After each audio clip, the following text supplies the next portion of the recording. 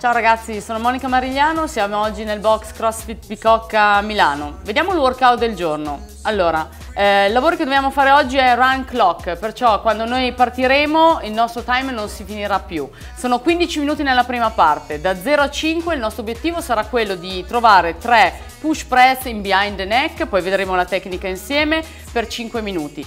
Poi al quinto minuto andremo a cambiare l'esercizio e il nostro obiettivo sarà quello di fare due jerk sempre in behind the neck, mi raccomando la spinta uguale ma cambieremo poi l'atterraggio dei piedi, vedremo ancora poi insieme la tecnica. Da 10 minuti al quindicesimo minuto toglieremo il bilanciere dal rack e il nostro obiettivo sarà quello di trovare un power snatch.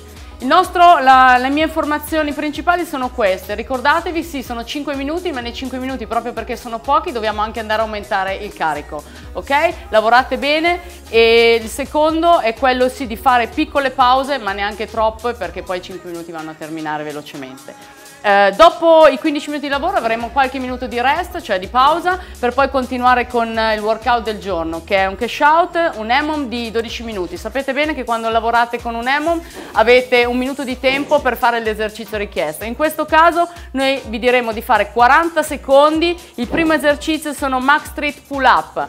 Poi abbiamo Max All of Rock nel secondo minuto e per il terzo minuto abbiamo Max Street agli handstand push up. Poi vedremo insieme eventualmente eh, i lavori in scaling.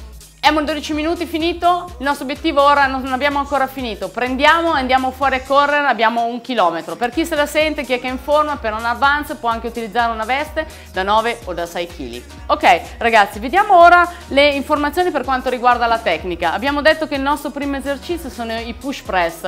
Il bilanciere in questo caso non sarà posizionato davanti come l'abbiamo sempre in front rack ma in behind the neck. Staccheremo il bilanciere dal, dal rack, la posizione dei gomiti deve essere neutra con il nostro corpo in questo modo, ok? La cosa importante da fare è il ricordo del movimento del deep e del drive, dovrà essere fatto lentamente, perciò da questa posizione andremo in deep, drive lentamente per poi andare in movimento esplosivo, ok? Sul secondo il nostro saranno dei jerk sempre in behind the neck, perciò la posizione è sempre la stessa, il dip e il drive richiesto è lo medesimo, solo che noi dovremo cambiare la posizione dei nostri piedi, perciò da questa posizione andremo in dip, drive, lento, spingiamo, estendiamo bene le spalle verso l'alto e la posizione dei piedi andrà a variare, ok?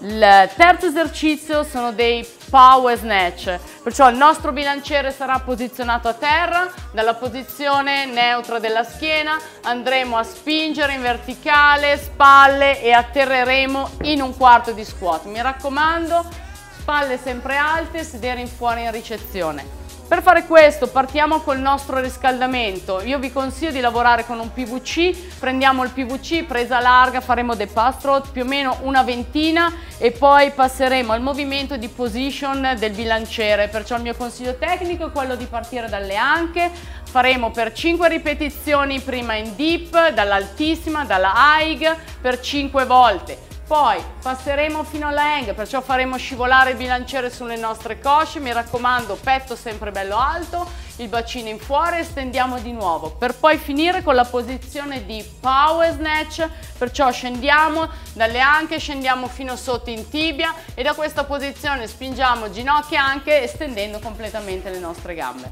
Questi sono i miei consigli tecnici di oggi, vi ringrazio, alla prossima, enjoy!